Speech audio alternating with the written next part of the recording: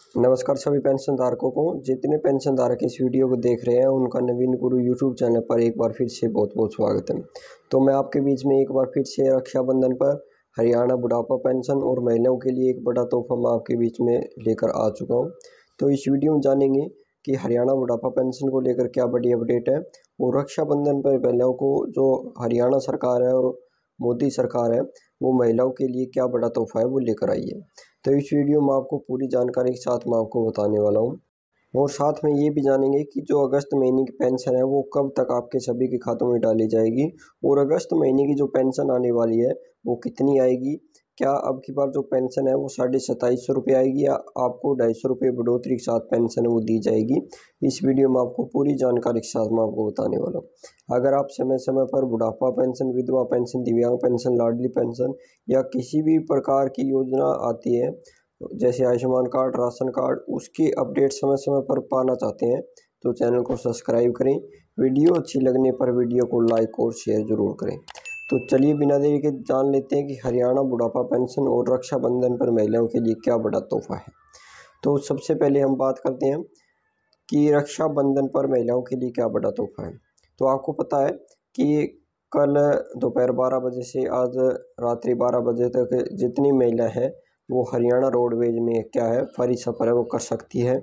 तो जी हाँ आज रात्रि बारह बजे तक जितनी महिलाएँ हैं, वो बारह बजे तक फ्री में सफ़र कर सकती हैं और जितने भी बच्चे पंद्रह साल के हैं, वो भी फ्री में सफ़र है, वो कर पाएँगे। उसके साथ साथ क्या बड़ी अपडेट है तो देख लेते हैं। और साथ में मोदी सरकार ने महिलाओं को एक बड़ा तोहफा दिया है रक्षाबंधन पर कि महिलाओं को मोदी सरकार तोहफा, दो सौ रुपये सस्ता हुआ घरेलू एलपीजी सिलेंडर। जी हाँ जो आप सिलेंडर यूज़ कर रहे हैं उनमें क्या है? दो सौ रुपये की जो है गिरावट है, वो आई है। मोदी सरकार ने दो सौ रुपये जो सस्ता है, वो सिलेंडर वो कर दिया है। तो महिलाओं के लिए बड़ा तोहफा है। सभी लोगों के लिए बड़ा तोहफा है कि दो सौ रुपये सिलेंडर वो सस्ता है, वो कर दिया गया है। अब सिलेंडर पहले क्या था? ग्यारह सौ सत्तर रुपये का मिलता था।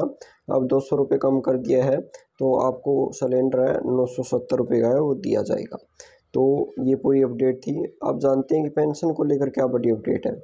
तो आपकी जो पेंशन है, वो अगस्त महीने की जो पेंशन है, अब अगले महीने के जो पहले हफ़्ते के अंदर अंदर है, वो डाल दी जाएगी।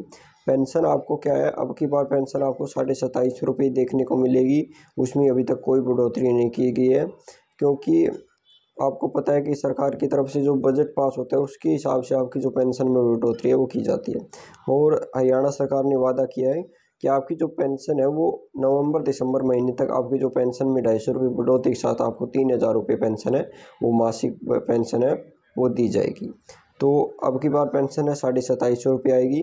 पेंशन आपके जल्दी खातों में डाल दी जाएगी। पाँच तारीख से पहले पहले सभी खातों में पेंशन आ जाएगी। जिनकी पेंशन रुकी हुई है, वो नीचे टोल फ्री नंबर है और कमेंट में भी आपको सबसे पहले टोल फ्री नंबर है वो मिल जाएगा। जाकर आप अपने जो समाज कल्याण विभाग से है वो संपर्क कर सकते हैं। उनसे पूछ सकते हैं, वो आपकी पूरी पूरी हेल्प करेंगे और अपना जो स्टेटस है वो ज़रूर चेक कर लें। और एक अपडेट निकल कर सामने आ रही है फैमिली आईडी को लेकर कि जिनकी फैमिली आईडी में क्यूआर कोड नहीं लगा हुआ है। मैंने पहले भी बार बार बताया था कि जिनकी फैमिली आईडी में क्यूआर कोड नहीं लगा है, वो फैमिली आईडी अपडेट करवा लें। अब क्या है? हरियाणा सरकार के द्वारा और जो पीपी पोर्टल के द्वारा साफ़ कर दिया गया है कि जिनकी फैमिली आईडी में क्यूआर कोड नहीं लगा है, वो जल्दी से अपनी जो फैमिली आईडी है वो अपडेट करवा ले, वरना उनकी जो फैमिली आईडी है वो रद्द कर दी जाएगी।